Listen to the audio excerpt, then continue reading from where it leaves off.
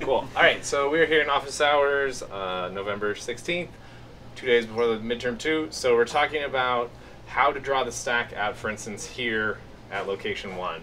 So we have a function main that defines an array, it's called C, of 0, 5, and 10, has another local variable D, which is calling foo and passing in C of A. It calls foo, foo does a bunch of stuff, then we're printing out A, C, and D. Inside foo, foo sets A to be 0. Uh, A is going to be A plus 1, B plus is equal to B plus 1. If B is less than 20, then we call foo again. Otherwise, we go to location 1, and we're going to call uh, return B from foo.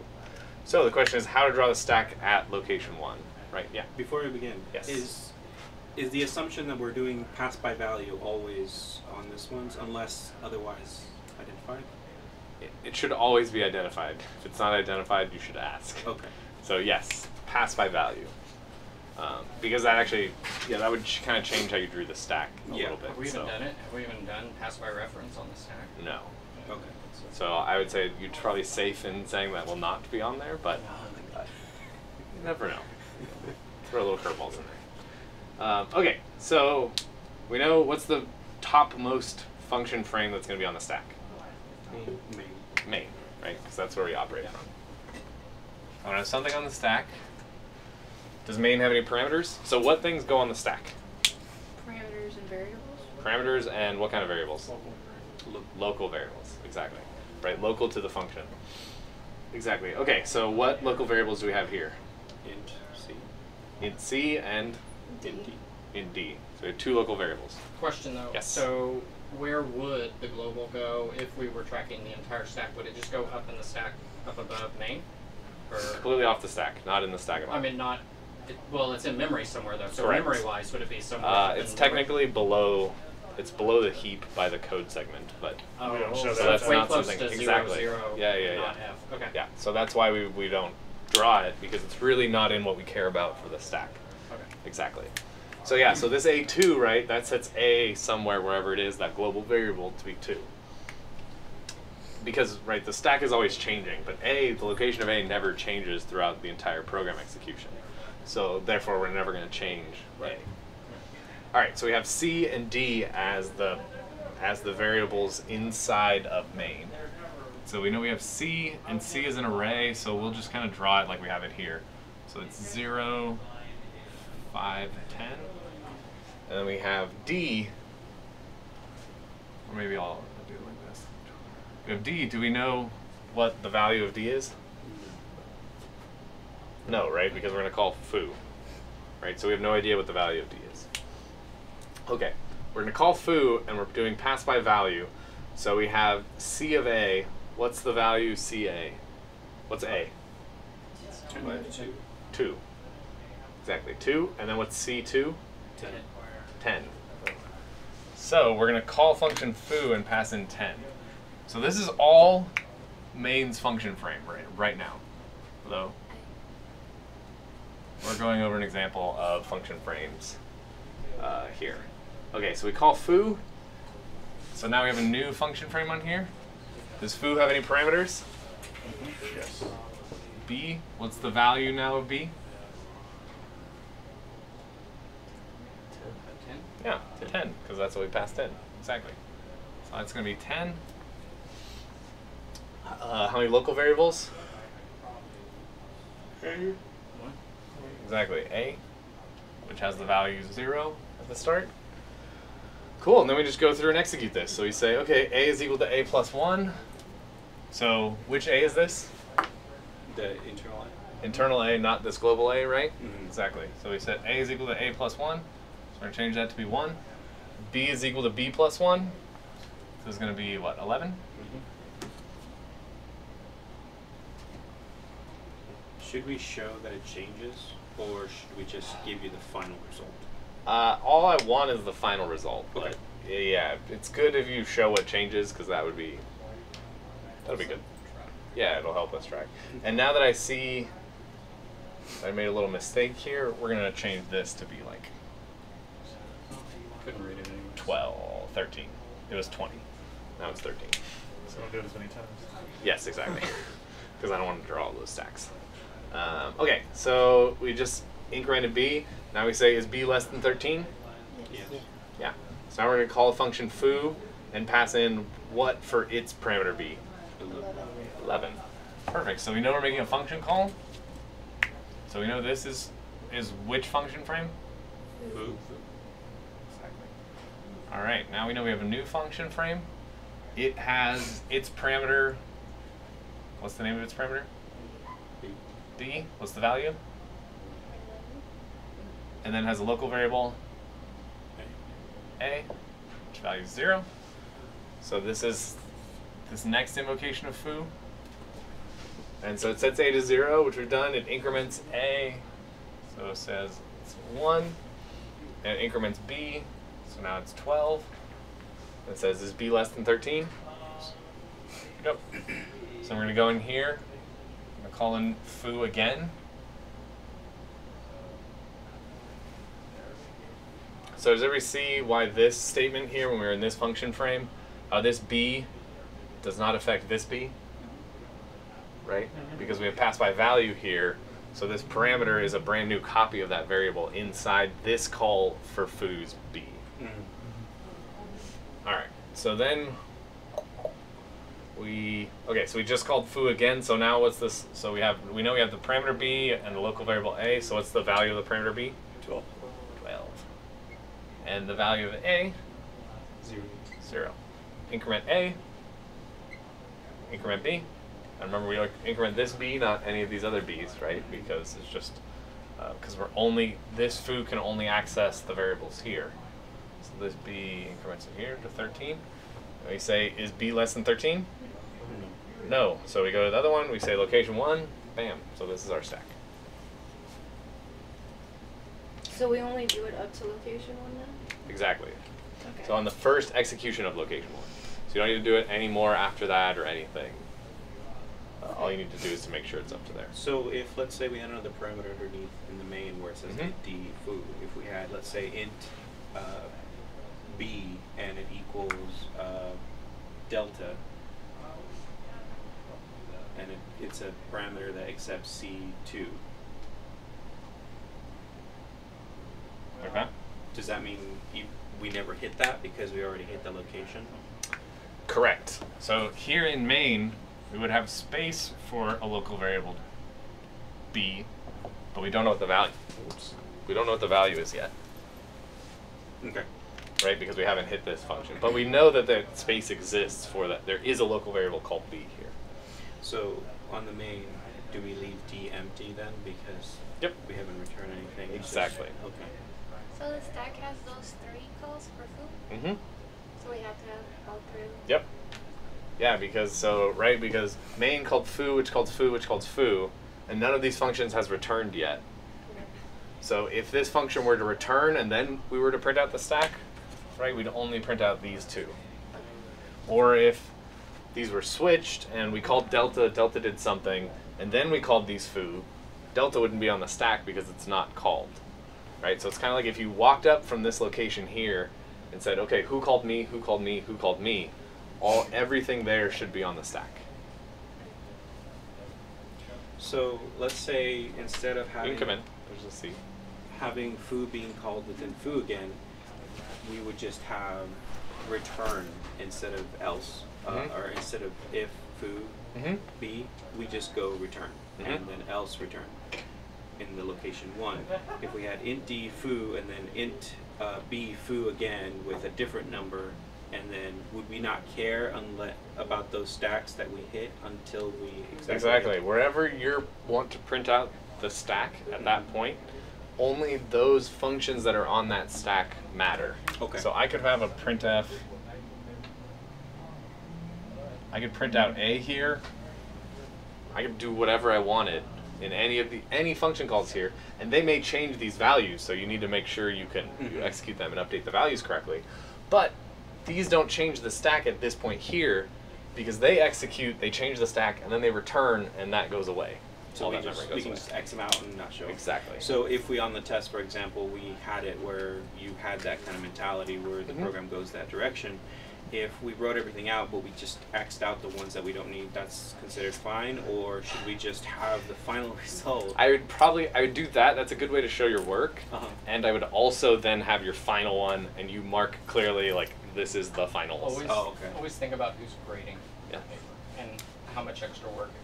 Yes. If it's looking like Yes. that versus. Because if it's like then you're like, well, but I really meant that this one was the one I wanted or something, or if those marks got like a little bit, like, I, you, people do crazy things, right? If they got like that right, and now you're like, well, but that's I really meant that that should be gone, but it's whatever. It could be all kinds of Mhm.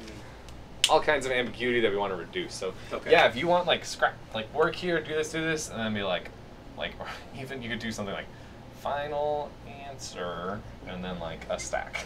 It'd And then Whatever. Be really whatever. nice and leave us Yes. plenty of room to do that. Yeah, yeah, yeah, something like that. Right. Okay. Any, anything to make it clear that like this is your answer. That makes sense. But like, also when you do this, be careful, because I see some people and it kills me where like they do this, but then they mess up the copy here, Oh. and then lose points for that. Kills me, but like this, you're saying, telling me that this, that that's your answer, right? So like I. Cool. Yeah. So for the midterm, what we have to account for is local variables, Mhm. parameters, Mm-hmm. and anything else that we have to explicitly put onto the frame. Oh, when you're drawing the stacks like this? Yeah. No. I mean, yeah, I mean, I don't think I'd have you do like EBPs, save EBPs, but you should be able to answer questions about those things.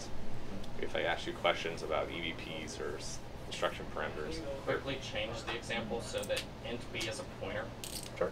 and then go through how the stack might look a little different. Okay. You don't have to go through three.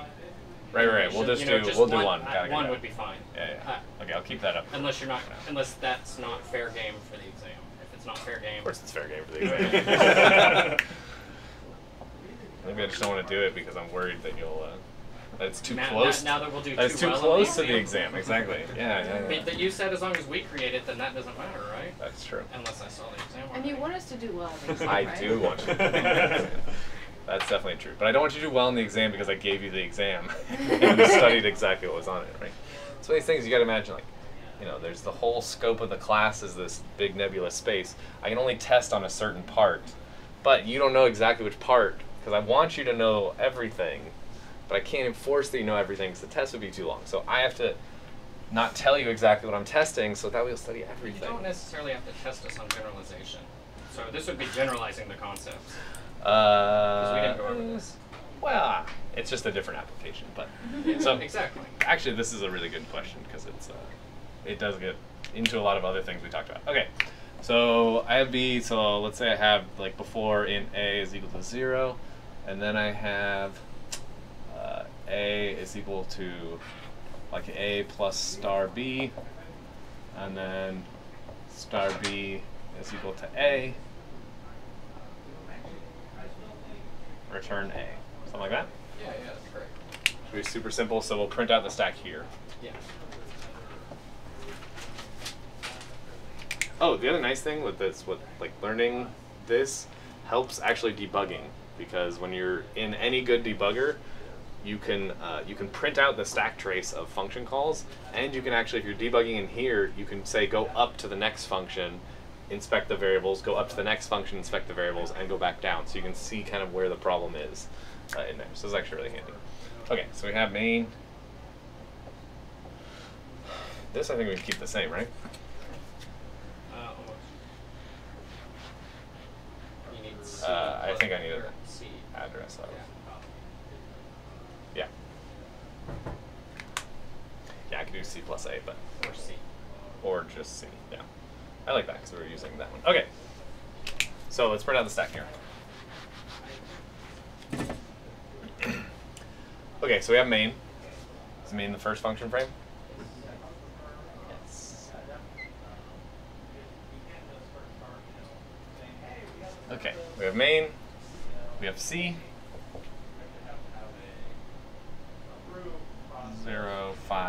1. And we have some D, we don't know yet. And now we call function foo, right?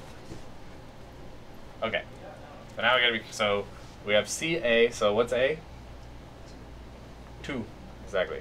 So C2 is this, is 10. But now we're taking the address of C2. So it's gonna give us the address of uh, C10. So yeah, if I didn't tell you a specific address, I would probably do it symbolically. So you could say, you could give it a location. Uh, I would say address of C two is So then, so now I have function foo. It has one parameter b. What's the value in b?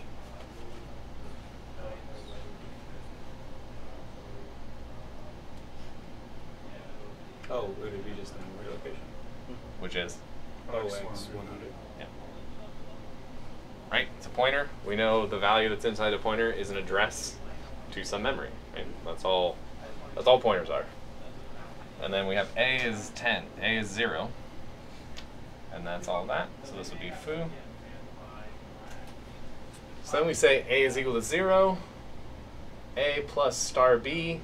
So a is zero. What's star b? 10. So 0 plus 10 is 10. So I'm going to put 10 here. Then I say star B is equal to A. So A, the R value is 10. Where's the location star B? Here. So, oh man, it's the same. Well, okay. Plus one, just plus one, or uh, Plus yeah. one. you can do that. Okay, so this is 10 plus 1 is 11. So we're going to take 11 and put it at the location associated with star B. So star B points here. So this would change this to be 11. And that would be the stack right here. Okay.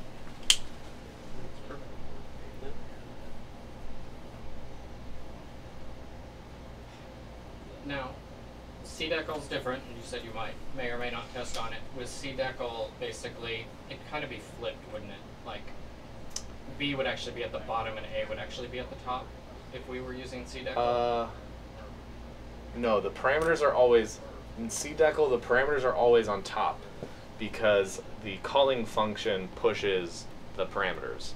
right. So they have to be above the local parameters. Well, yeah, so technically B would be above the line for foo, right? uh, Because you're pushing it from main. main yeah it's kind of a semantic thing. To me i like to think of like who's responsible for that memory. So as soon as main calls foo even though main like created the space for that memory it's really foo's responsibility.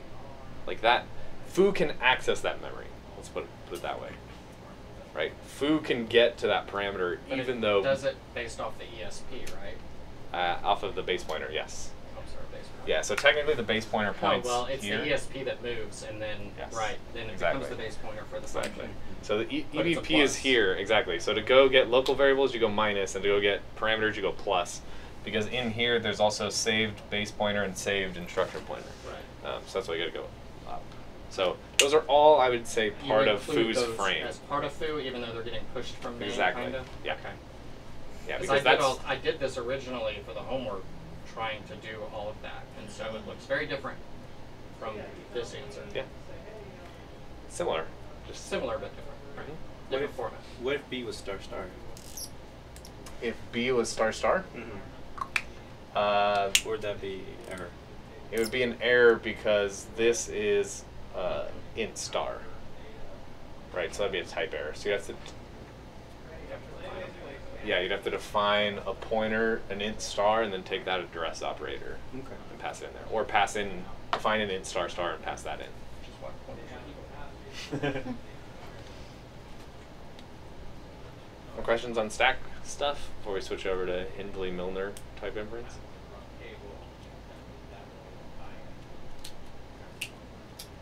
What do you think? Are you saying that because you created it? Yeah, I was just thinking Both of them? this, this doesn't really have to do with stacks per se, as much as uh, some clarification between the difference of, you know, by reference, name. It was such a good example for that before we changed it too. Uh, yeah, we can maybe change it back.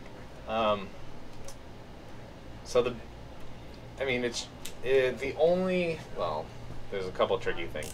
I mean, pass by value is very, right? It's what you're used to, right? The value is copied, and that's the thing here that you got to make sure is like on all of these, you're passing b to foo, which makes a new copy of a new value b in that frame and copies that value there.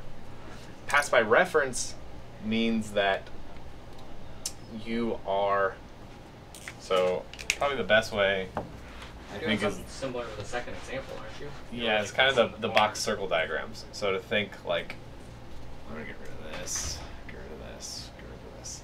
Okay, in pass by value, you make a new box.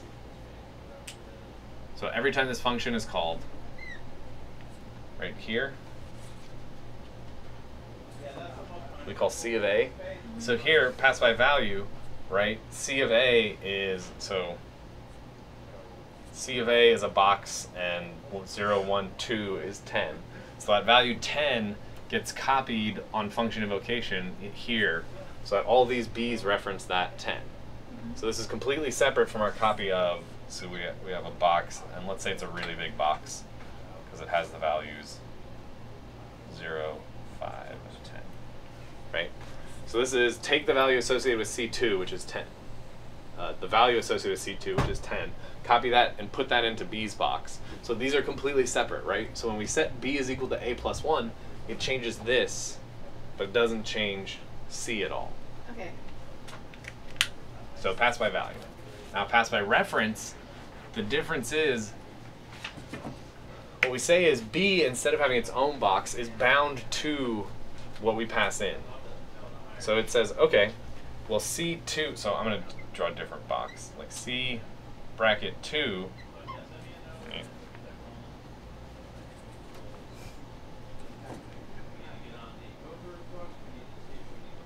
Is bound to a box that has the value 10 right? So in pass by reference, what I'm doing is I'm binding B to that location. So the location I pass in is C2, which is that same thing in here. I'm drawing them separately because it's kind of hard to, to do it like that. Um, so on function invocation, B just gets bound here. So that way, every time this B is referenced, we say B, okay, look up B. What's the value associated with B? Well, it's 10. And here, set the value of A plus 1 take the value a plus 1, set it to the locate, put it in the value of the location associated with b. Well, the location associated with b is here, so we should update this, put a 1 there, boom. And this goes away, that b disappears, right? But that memory was outside, so that's why this updates the value outside here. And what about pass by name? Pass by name is trickier in that we don't actually evaluate this expression to get an L value or an R value. What we do is we look at all of the uses of the formal parameters. So here's formal parameter, formal parameter, formal parameter. And what we do, so we do we do scoping rules here at the invocation. So we say this C is bound to this C, and this A is bound to this global A, right? So that's where, I mean, that's statically where these are. That's how we've been executing it, right? So when we invoke foo and we say, okay, call foo, uh, do pass by name. So we substitute, change all of these underscore b's, or these b's with an underscore under them, with this expression, just as if this expression executed right here. So we, we basically execute an equivalent foo where we have int a spaces Int A is problematic. Int a is equal to 0, a is equal to a plus c bracket a plus c bracket a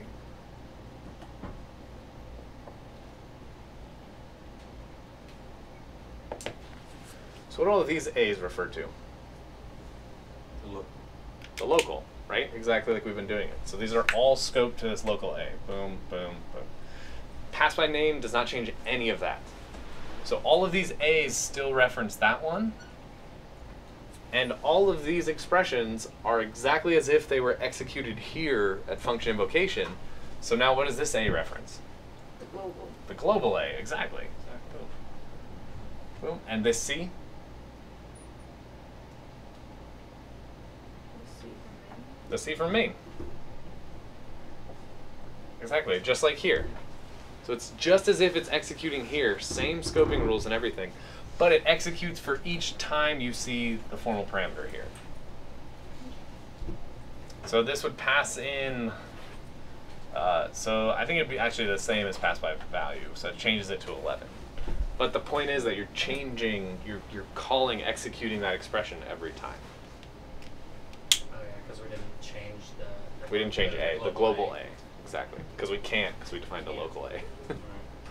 Which is good. But you could do something like uh, A plus plus, right? Just something crazy like that. Now this would be every time you did it, it would change A. This global A. And you get a, you get a index. Yeah, I probably wouldn't do that because I hate the semantics of this operator. It the other way, plus plus A. Yeah, exactly. You could, yes. Okay. Uh. I was gonna say, uh, I think we're gonna move on to Hindley Milner type inference if that's good. Uh, but first, let's pause this so somebody can create an example.